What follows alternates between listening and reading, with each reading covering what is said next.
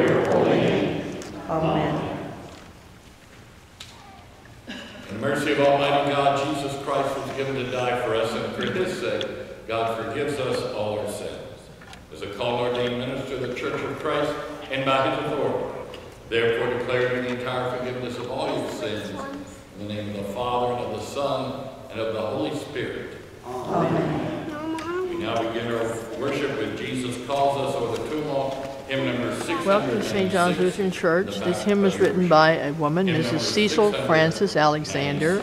She uses the name Cecil Frances Alexander, but she leaves off the Mrs. It's actually written by a woman. She was a songwriter in Ireland, wrote this as part of her hymn books, and it was written in the 1800s. Welcome to St. John's Lutheran Church. We're at the corner of Wittenberg and Columbia. This is our 1030 service. Our 8 o'clock service is at the drive-in, Melody Cruise Inn. This is the 17th of August, 2014.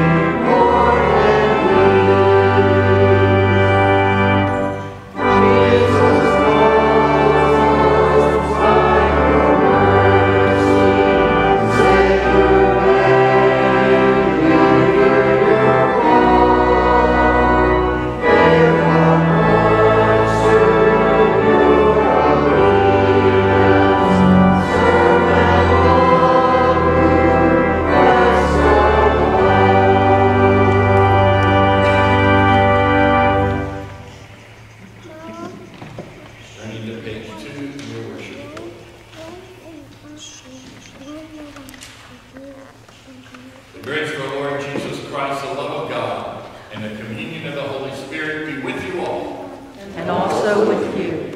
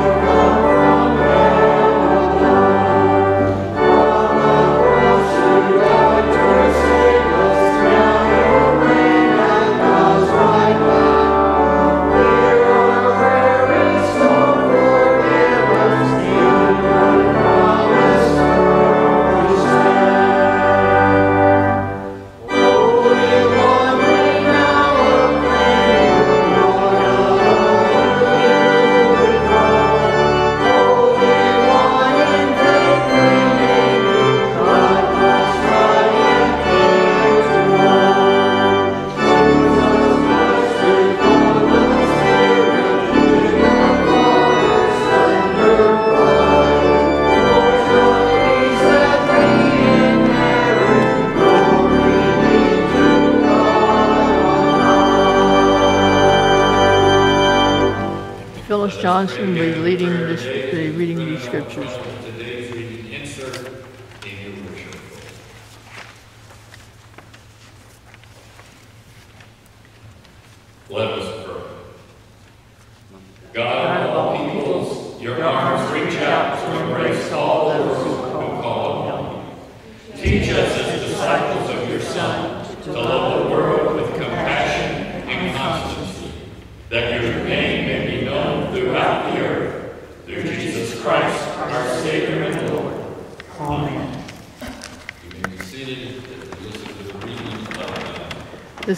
Sunday after Pentecost. The theme is Teach Us to Love the World.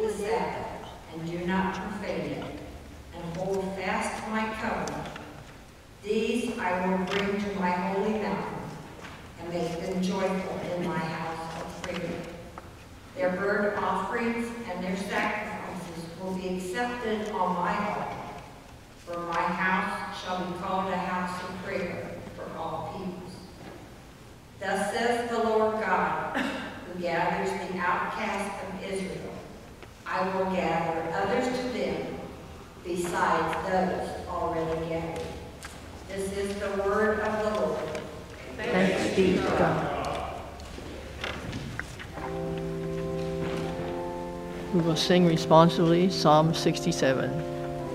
Joe Brewer is leading us.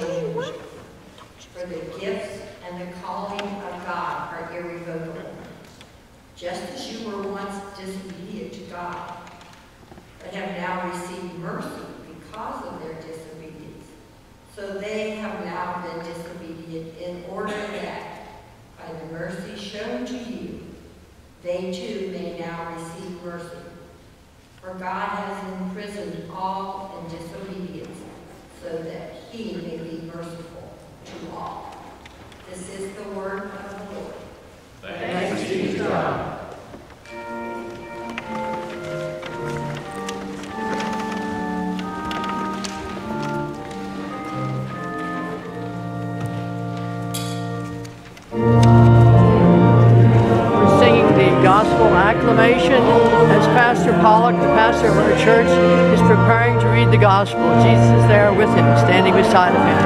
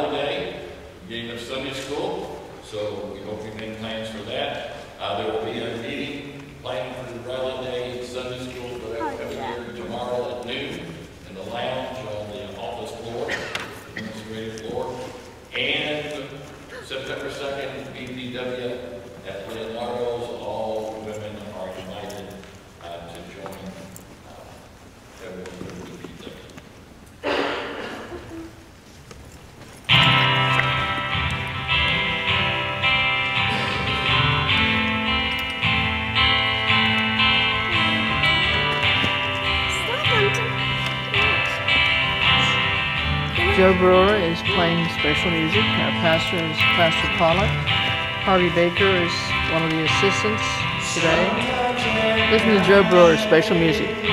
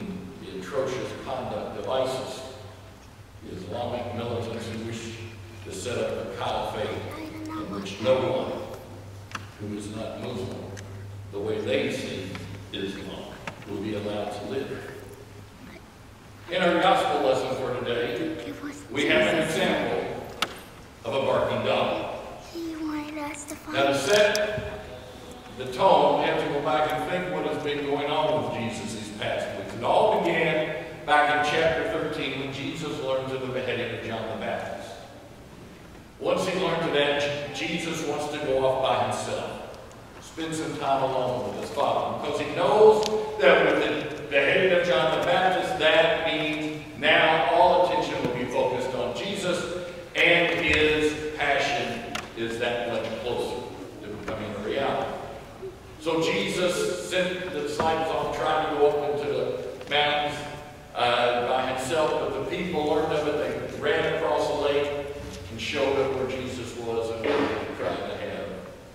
Quiet and meditation. Jesus heals their sick, and as we read, it became late, people were hungry, Jesus had compassion on them. He challenges the disciples, give them something to eat. The disciples say, Lord, we don't have anything but five loaves and two fish. Let's send them off. Send them home. But Jesus won't do that because he knows they'll pass out, possibly become victor, uh, victims of thieves and robbers. So he blesses the five loaves and two fish and 12 baskets are collected afterwards as they feed over 5,000 people. So then Jesus dismisses the crowd and sends the disciples off in the boat. There, Jesus prays, early morning comes, the wind is blowing, the boat hadn't made much progress. Jesus comes walking on the water, the disciples think he's a ghost. Peter says, Jesus says, it's I, and Peter says, it's really you.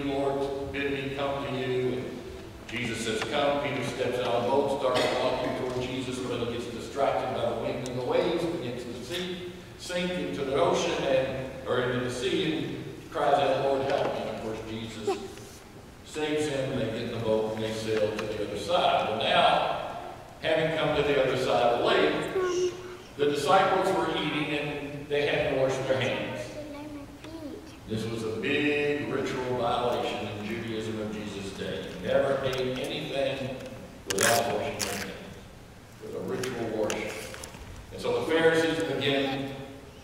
to quibble with Jesus over this violation of this very unnecessary law that was created in the centuries after Moses got the law and the covenant. So then we, our gospel lesson on today, Jesus talks about how if nothing that goes in you defiles you, that goes out of the sewer, what defiles you is what comes out of your heart. And that your heart is the seed of idolatry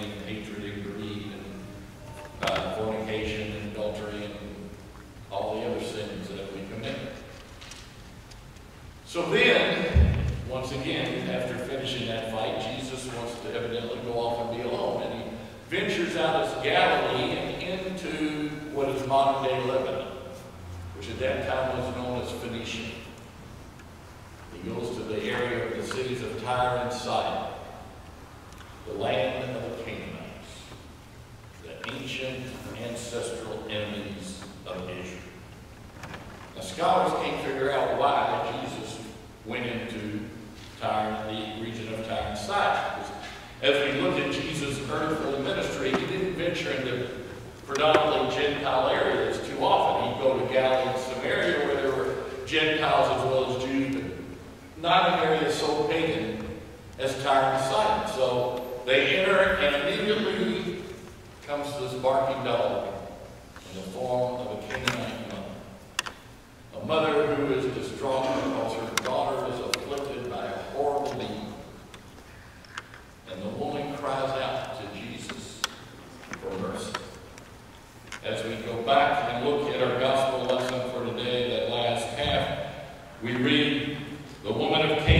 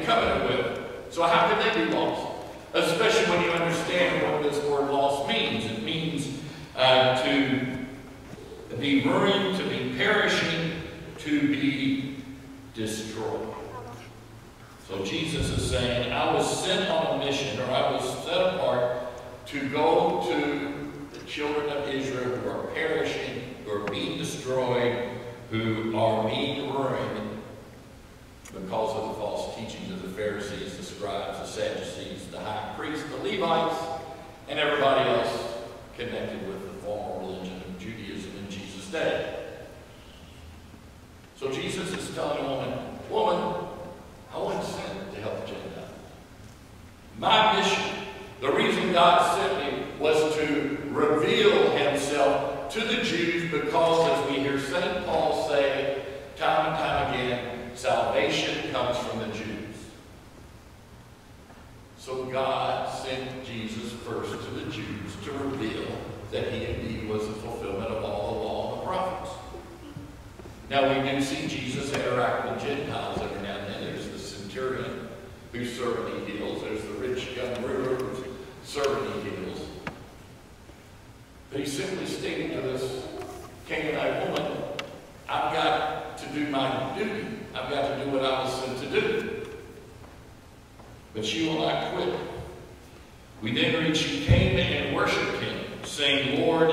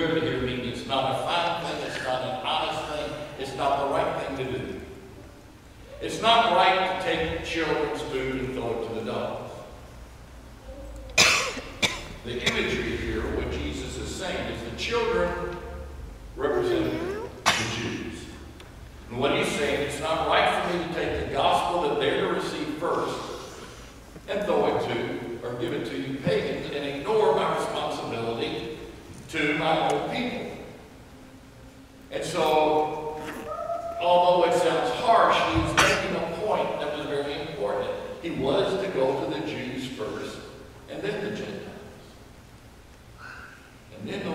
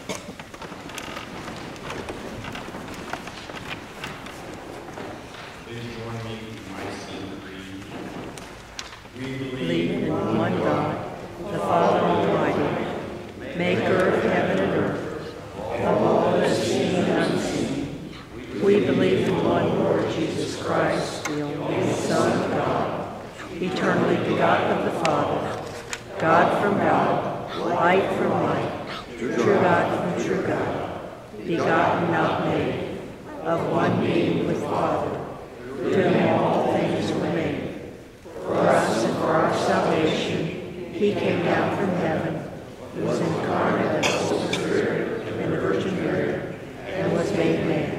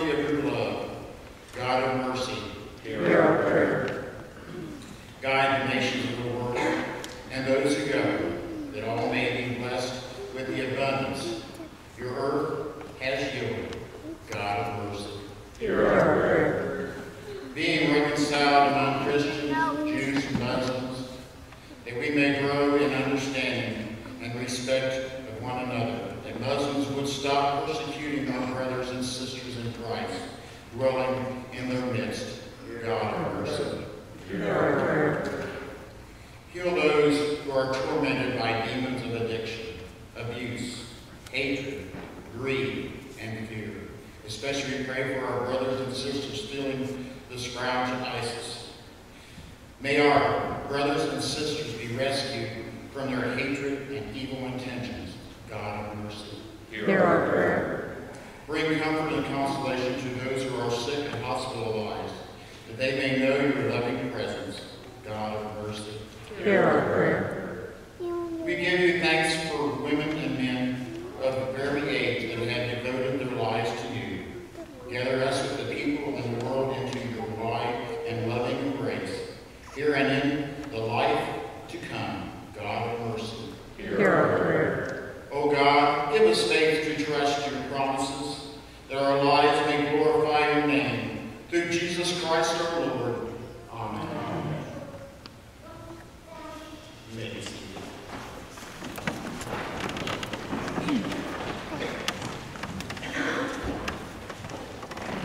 Offering. Janet Hogue and Sharon Leach are the ushers. Helen Wallace's communion assistant We'll have Holy Communion today. We believe that Jesus is present in the Holy Communion. When we receive Holy Communion, we receive eternal life and love, and we're able to serve one another. Last week's attendance was 128. The flowers today are given by Phyllis and Jerry Cochran in loving memory of Dad and Sister's birthday. You can see the flowers in the front. Flowers on the chancel stands are to the glory of God. We thank you for watching us on YouTube. We're asking you to come 10:30 service or at the drive-in service, Melody Cruise Inn. We will have uh, one more service, and the last service will be the blessing of pets. We invite you to bring pets to the drive-in service. This will be the last service, Labor Day service of the drive-in service. Greg Nolte is our organist playing our organ. Christ is with us today. We invite you to virtually take Holy Communion with us. Receive the true body and true blood of Jesus Christ. We see now Helen Wallace, who's coming forward to assist the pastor as communion assistant. Harvey Baker is the worship assistant. Rita was Phyllis Johnson. Janet Hogan, Sharon Leach are the ushers.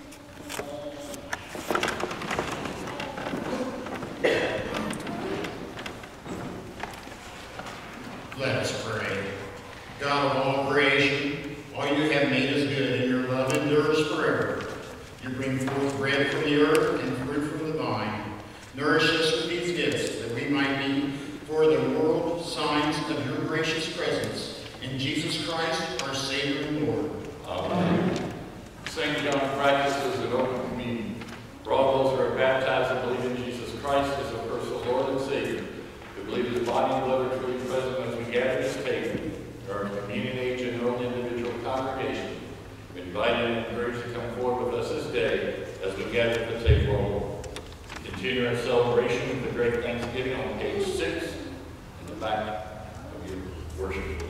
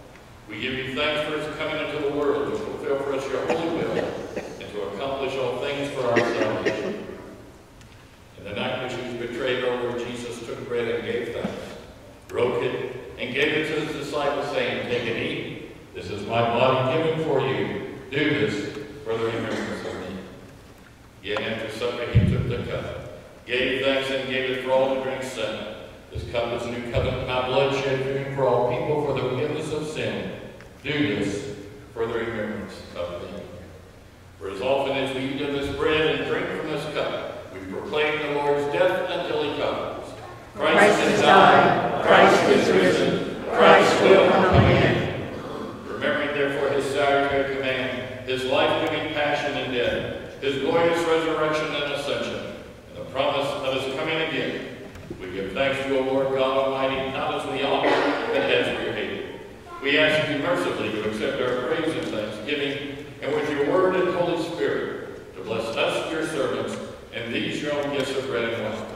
so that we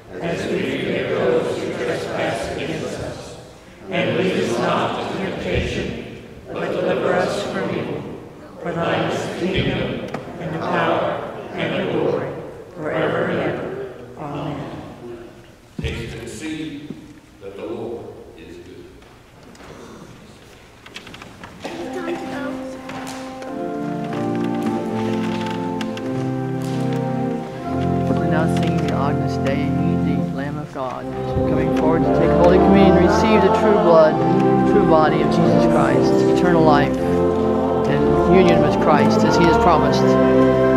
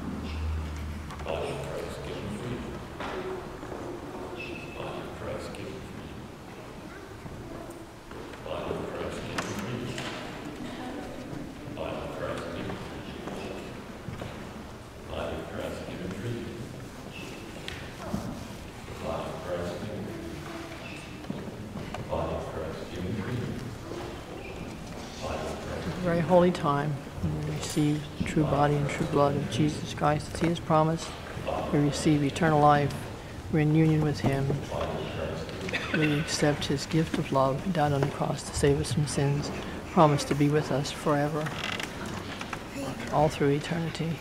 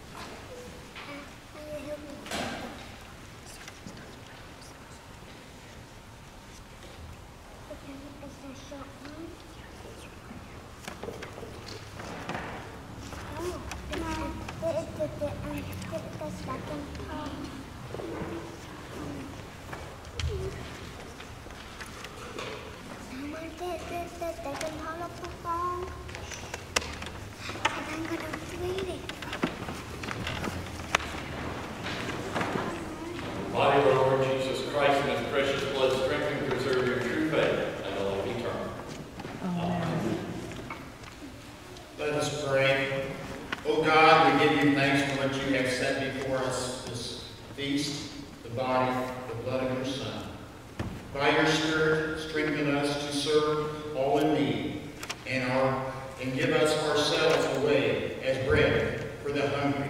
Through Jesus Christ our Lord. Amen. Almighty God, Father, Son, and Holy Spirit, bless you now and forever. Amen. We conclude our celebration with O Jesus, I have promised, hymn number 800. This hymn was written by John Bode in the 1800s, English hymn writer. I want to thank you for watching St. John's on YouTube. Turn in any, tune in anytime. You can Google us up, and then type in St. John's Lutheran Church, Springfield, Ohio, and you can then click on any service you want.